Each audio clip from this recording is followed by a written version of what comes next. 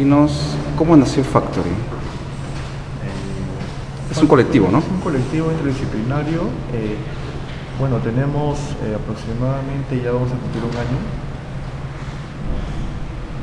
La unión fue algo muy, eh, muy disímil porque nos hemos unido artistas que no teníamos este, una amistad previa. No Claro. éramos grandes amigos ni de Bellas Artes ni de Católica. Sin embargo, ya habíamos coincidido en eh, muestras colectivas, los cuatro de, de diferentes tiendas, ¿no?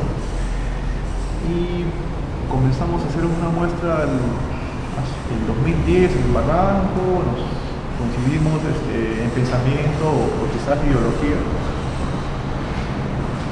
Súbitamente la unión empezó a darse y, y a concretar un grupo, ¿no? un equipo, un equipo, en este caso un colectivo interdisciplinario. ¿Quiénes son realmente? Eh, la el colectivo lo conforman Mario Burgos, eh, José Luis Cornivel, Luis Mizarazo y quien habla Romaní. Ah, ya. Eh, ¿Qué otros proyectos llevaron a lo largo Factory? Bueno, eh, netamente Factory es un colectivo interdisciplinario que lo que vamos a hacer, vamos a conceptualizar proyectos y lo vamos a ejecutar en espacios abiertos. Netamente nuestro, el pensamiento de Factory es un pensamiento intervencionista. Queremos tomar eh, espacios que han sido abandonados, digamos, estético y socialmente, como pueden ser eh, edificios abandonados, eh, calles, este, Entonces eh, intervienen en espacios abiertos. Claro, eh, nuestra, vamos a poner en marcha toda una serie de proyectos intervencionistas ¿no?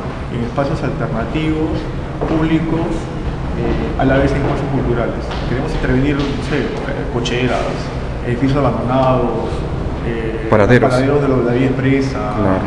eh, paraderos que, que existen y darles una nueva lectura ¿no?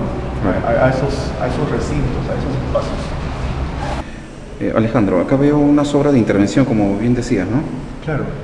Eh, esto es una serie Ómnibus, ¿no? inicial de fotografías que tomamos desde la primera cuadra de la avenida Bancay hasta la última cuadra, eh, referencialmente en el parque universitario.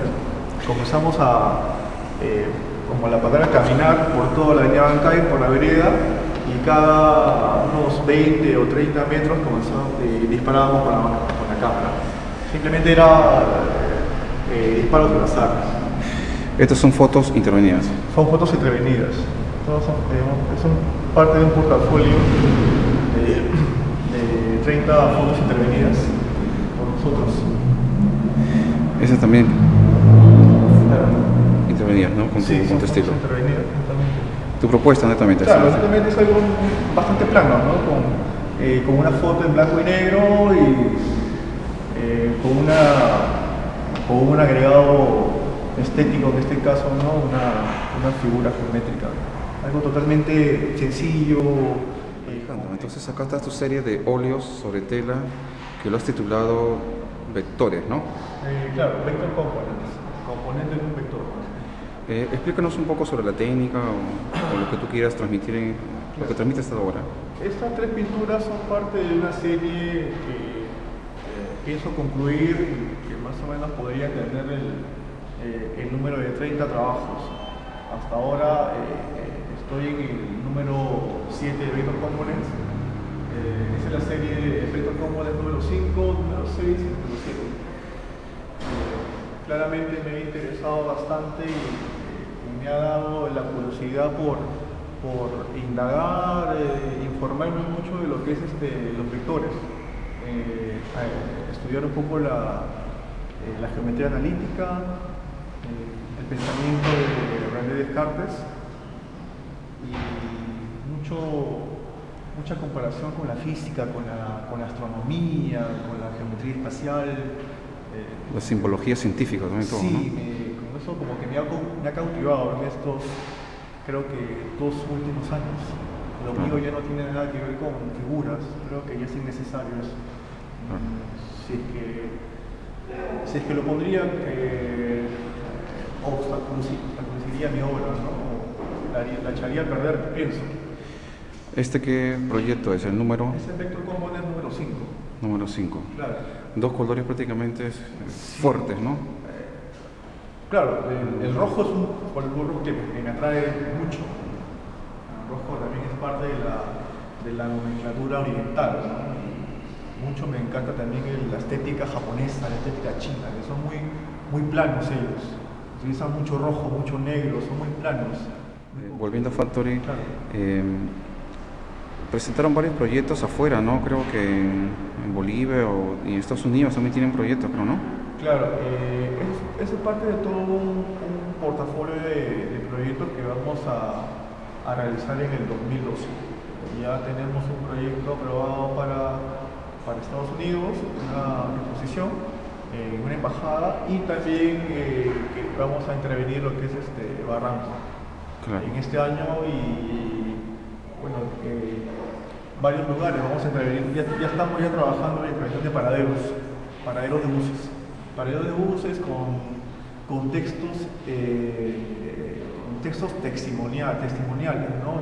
digamos, sobre es medio ambiente, eh, polución, contaminación sonora, eh, derechos humanos, parte netamente es eso, ¿no? Y- Es este, denuncia. eh, La contaminación la sonora. contaminación sonora, ideológica, el, el, derecho a la expresión. Es lo que dio título a la muestra Sound, ¿no? Claro, Sounds, claro, es, una- es un proyecto que lo estuvimos trabajando en relación a lo que es la, la contaminación sonora que está muy, muy, muy, este, muy incrustada en, las sociedades modernas, sin embargo, este, no le damos la atención previa. ¿no? No ensucia como el, derrame de petróleo, sin embargo, causa un, este, una patología tremenda al ser humano, de, Claro. de demás especies. Sí. Eh, eh, ¿hasta cuándo se presenta acá en el Centro Cultural El Olivar? Sounds está hasta el 30 de marzo del 2012 en el Centro Cultural Olivar. Bueno, con nosotros, Basicuito de Arte, Alejandro Romaní. Eh, gracias, Alejandro.